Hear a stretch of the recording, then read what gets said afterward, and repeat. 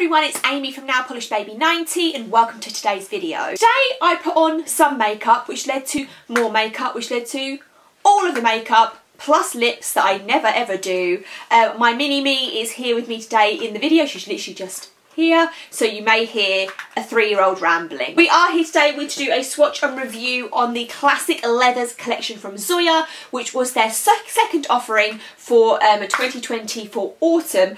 I love this aesthetic. You may have noticed that I've got some stuff behind me, so I'm in the process of doing destash filming and sorting, so I think what I'm going to do actually is put this leathers box will be up here because I just love the way this looks. I really enjoy it. So there's six cream finish polishes to show you and let's get into it. Inside the box itself we obviously have the leathers and there they are. I think when they first came out there was some thought over because it said leathers whether they were going to be some sort of textured finish or similar to when OPI did the leather look before whether it would be something like that but they are just all cream finishes um, and perfect for autumn. I do have the descriptions. I didn't have them for the last collection but I have them for this collection so it should make it a lot easier easier for us all. And let's get stuck into these six creams. The first one is called Gidget, and Gidget is kind of, when you look at it, the yellow of the collection. However, Zoya described this as a rustic orange mustard with beige undertones. So it's definitely a really big mixture of yellow and orange and brown and neutral, all kind of rolled up into one polish. I did really like this, and overall the whole collection is really nice because you're getting, oh hello, so many different tones all in one was a surprisingly nice, easy formula. Often when you get yellows, you are going to be hit with something that's a little bit less opaque or streaky, but this was perfect. Two coats of Gidget is starting us off. Yes. Then we have Ono, and Ono is described as a berry magenta. So really nice kind of classic Zoya colour. I probably have this from them already or from OPI or equivalents but it's still a really nice burst of very pinky magenta goodness kind of matches my lips today. Um, and another easy it's my lips today. You've got the same lipstick on as me. Maybe you can show everybody in a minute. Yeah? Um, so yeah really nice easy two coat of formula just like Gidget. So that one is two coats of Ono Moving darker, we have Dogmar, and Dogmar is described as a deep plum brown mm. full coverage cream. So here is Dogmar, and if we compare it to Ono that we just spoke about, you can clearly see that they are different, although in kind of the similar type of family.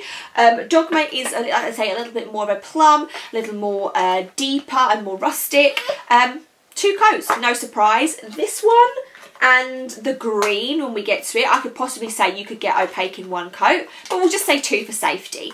So two coats of Dogmar. Ryder is our traditional brown and they are calling this an autumnal rustic brown. This year I've been hmm. really drawn to wearing browns in this kind of early autumn. So this was really down for me. I really liked it. I know that these sorts of brown mm. colours aren't everyone's favourite. Oh, you're going to hold it now?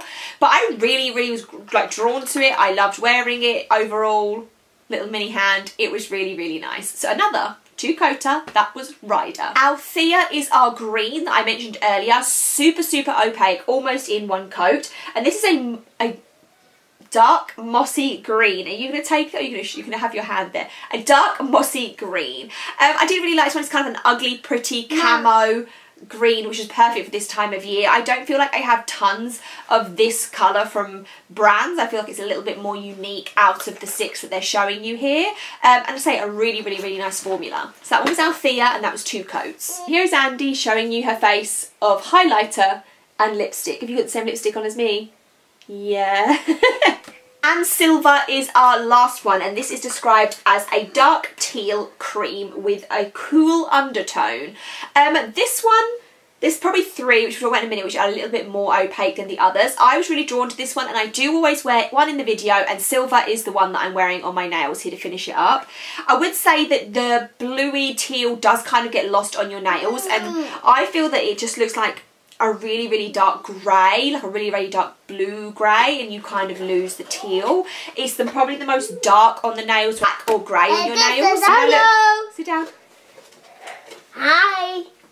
So I think I wrapped that one up, but that was uh, two coats of Sylva. So as this collection as a whole, I would say that there are three colours that I feel were a little bit more unique, and that is um, Gidget, Althea and Sylva are the ones that I'm going to say on the ends really are the ones that are a little bit more unique. My favourite out of the collection is going to be Gidget. I just think it's the one that stood out the most. And my runner-up would be Ryder. So these two are going to be my favourites from this collection.